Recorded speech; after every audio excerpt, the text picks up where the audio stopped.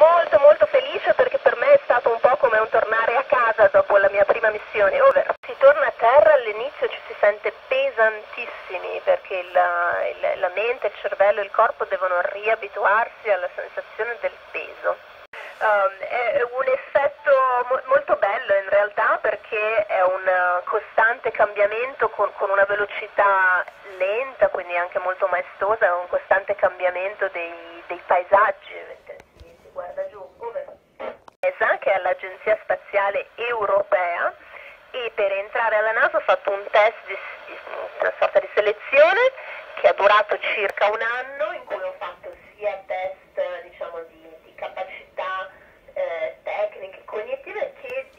diciamo, aspetti psicologici che sono molto importanti per gli astronauti, aspetti psicologici e di personalità.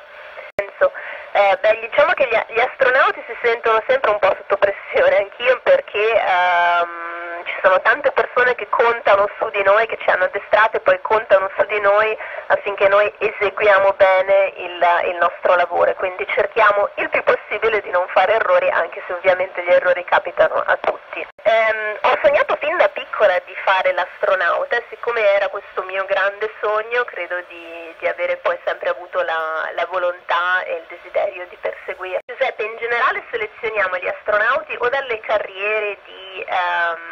di, di, di pilotaggio, quindi piloti con, con una ehm, grande esperienza di volo, oppure persone che hanno fatto eh, una formazione di tipo insomma, da ingegnera, da scienziata, eh, medici, eh, matematici. Ehm,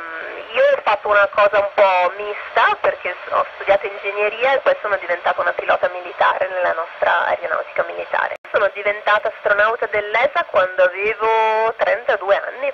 Delle competenze proprio specifiche non, non, ti saprei dire, è più una questione di avere in generale una formazione scientifica o, in, o ingegneristica o dal mondo della, dell'aviazione in modo da avere quelle, quelle competenze tecniche e quella capacità